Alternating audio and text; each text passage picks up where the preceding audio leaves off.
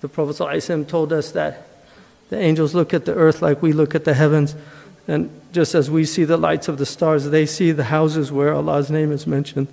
The Prophet ﷺ said to uh, always put dhikr Allah in your gatherings. He said, Sallallahu Alaihi Wasallam, ألا أدلكم على على أفضل أعمالكم وارفعها عند مليككم وخير من من الذهب والفضة وخير من أن تضربوا أعناق عدوكم ويضربوا أعناقكم قالوا بلى يا رسول الله قال ذكر الله وأحد he said let me tell you the best thing that you can do it's better than uh, it's the highest in the ranks with your Lord it's better than gold and silver it's it's better than uh, jihad fi sabilihi he said dhikrullah a man came to the Prophet ﷺ and he said كثرت علي شرائع الإسلام there's too many rules he said دلني على شيء أتشبث به just give me something that I can cling to uh, because he said there's the rules, there's too many rules.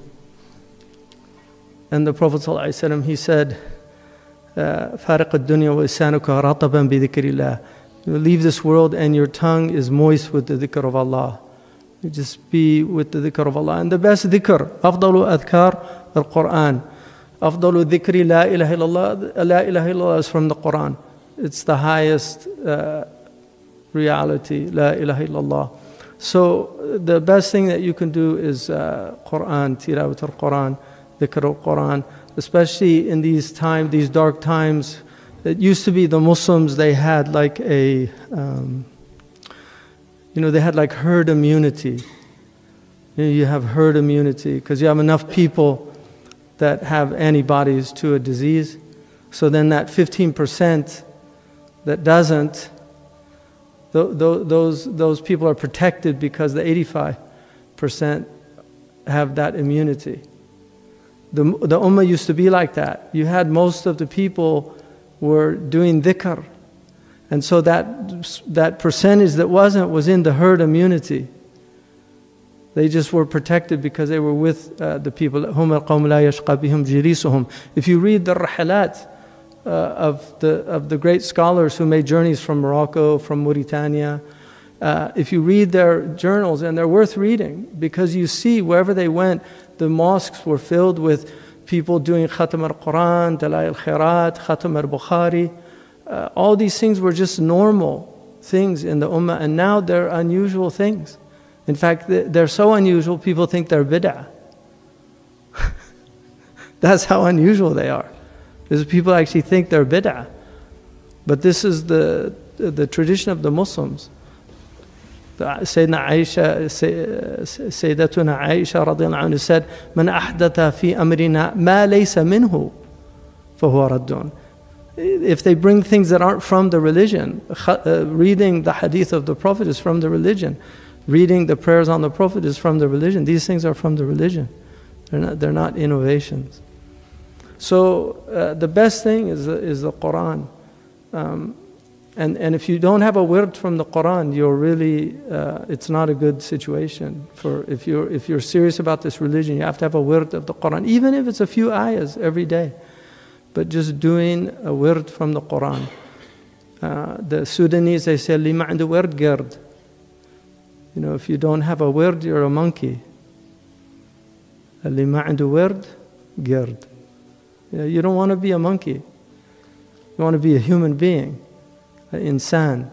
And, and, and uh, the uh, Raghib al-Isfahani, he says, الجهل انسلاخ الإنسان من إنسانيته that ignorance is the flaying of the humanity from the human being. You, you, you have to earn your, your, uh, you know, your maqam with Allah. And, and, and the best way to do it is to read the Quran and practice the Quran.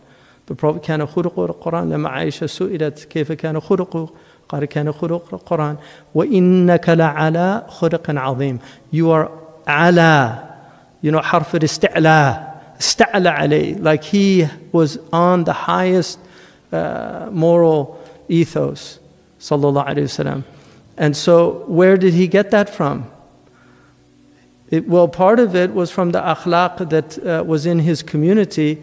And that's why he said, إِنَّمَا بُعِثْتُ لِأُتَمِّمَ مَكَارِمَ الْأَخْلَاقِ I was sent to complete, you know, because they had things like sidq al-hadith, you know, honesty, wafa, loyalty. The Arabs had those things before Islam. But the Islam came, وَهَذَّبَ it, it polished everything.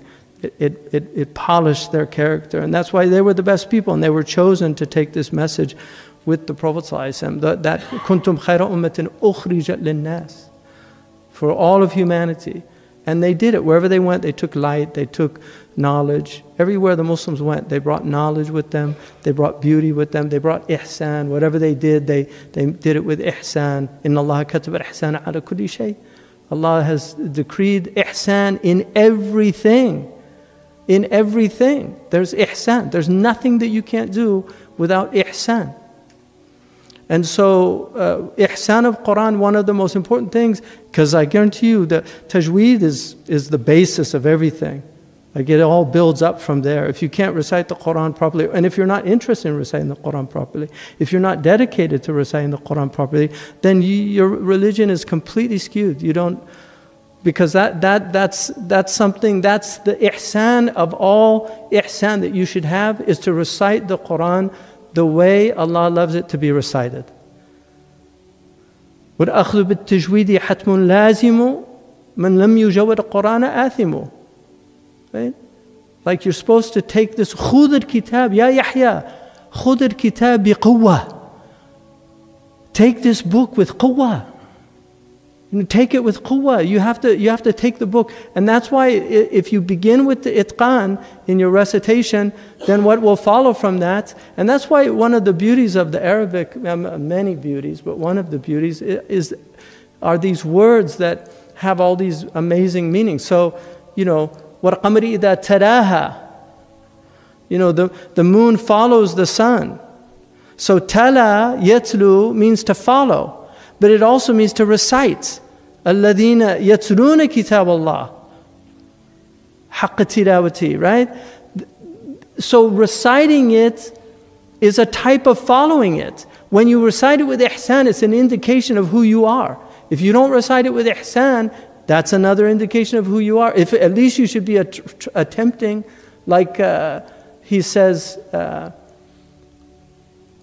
imam al-jazari وليس بينه وبين تركه إلا رياضة امرئ بفكه there's, there's nothing between you and the Quran except exercising your jaw right to practice this, this, uh, this beautiful science that we've been given of tajweed it's a beautiful science and no religion has this because Allah said, Inna nahnu nazzalna dhikr wa inna lahu lahafidhun. We revealed this book and we have taken upon ourselves to preserve the book.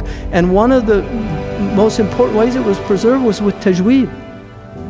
Look at these men, where did they come from? Nafi', where did he come from? Ibn Kathir, Ibn Amir, Abu Amr, Hamza, Asim, Al-Kisai, Abu Ja'far, Al-Madani, Yaqub al-Hadrami, Khalaf ibn Hisham. Where did they come from? What gave them that himmah to want to preserve this book? And then they had these students that wouldn't leave them until they mastered what they had. Imam Nafi' had Warsh and Qalun. He read it with him multiple times. Nafi' loved Warsh because of his hirs. He was blonde hair, blue eyed. And his, his teacher was, was, they said that he was uh, like ebony. He was so dark. So this blonde hair, blue eyed Egyptian taking it from this, uh, this Mola, you know, this amazing uh, black man from, uh, from Iran. This is our religion. Imam Hafs, uh, he stayed with Asim. He was related to him by marriage. But he stayed with Asim, Shu'bah. And uh, until they mastered this, and then we have it given exactly how it's pronounced, everything. There's, this is one of the few things in our entire religion, there's almost no difference of opinion. And that's why you can go from Indonesia all the way to California, and somebody, they're either reciting it correctly or not. And the masters will tell you.